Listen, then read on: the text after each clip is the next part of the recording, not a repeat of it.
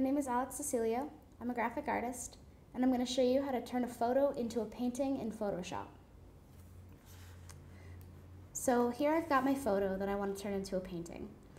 And when you first get your photo into Photoshop, it may not be directly editable. So just go over to your layer that it's on in your layers panel, hold down control and click and select rasterize layer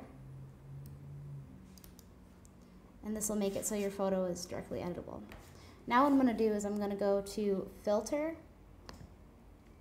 and I'm going to go to artistic and this is really up to you what kind of painting you want it to look like but for now I'm going to choose palette knife because that is really what's going to make your photo look more painterly.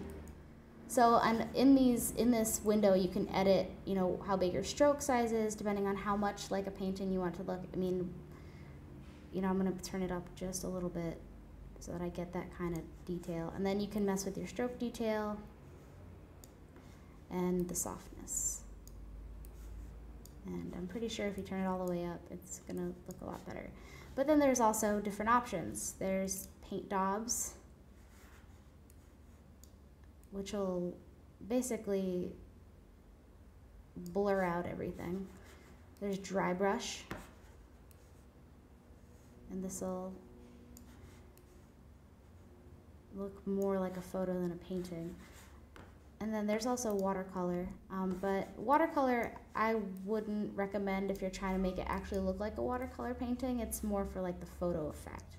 Because, um, I mean, I guess it kind of looks like it, but for the most part. I'd really recommend um, palette knife, but you could also do underpainting, and this will make it look like it has a texture um, on the painting itself so that it, like I said, it looks more like an actual painting.